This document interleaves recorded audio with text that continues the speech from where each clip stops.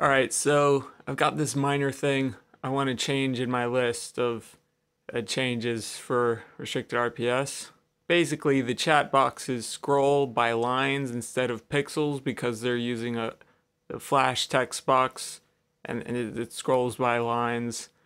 Um, I have the idea though that I can instead have the text box extend out downwards and have it masked like how I do the sidebar list and notes. That way it can have some nice smooth pixel scrolling.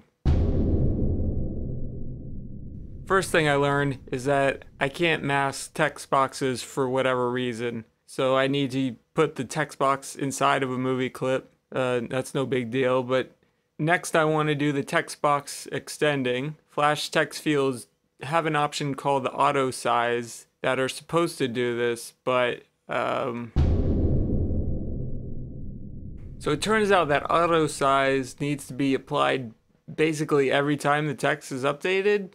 No idea why. Also, I lost a ridiculous amount of time chasing what I thought were bugs with what I had changed, which turned out to be a bug in the testing player. For whatever reason, auto size won't display the text beyond the first couple lines in the test player and displays kinda but broken if you use the debug player.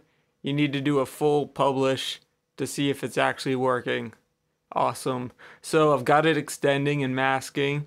I'm all ready to move on to getting the scrolling in line with how I do it for in the sidebar and notes, but what is with this empty line I'm getting now? So I do some Google searching and I find a bunch of potential causes for the bugs and I start testing.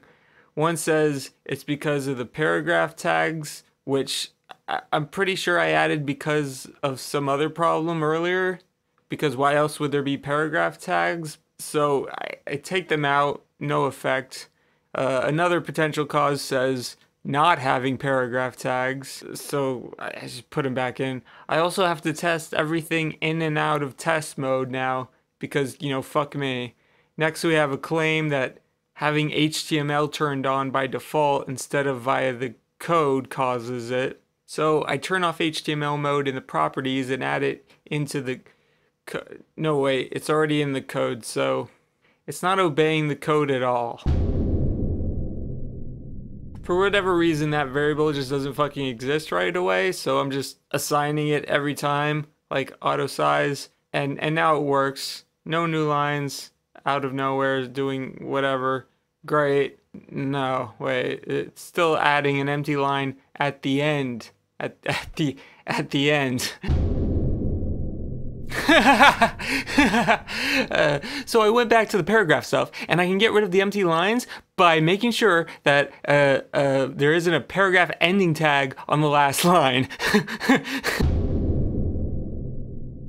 but then it turns out there's a few other things not working, and you realize the reason variables weren't existing was because you had stupidly made an undefined reference by defining it too early in the function, and you move it move it down so that everything ends up being solved. It's all defined now, and those things are getting called. You don't need the auto size and every other property being called every time it's being used. Uh, but the paragraph thing itself still needs to be a hack because that manic laughing, that wasn't me being crazy.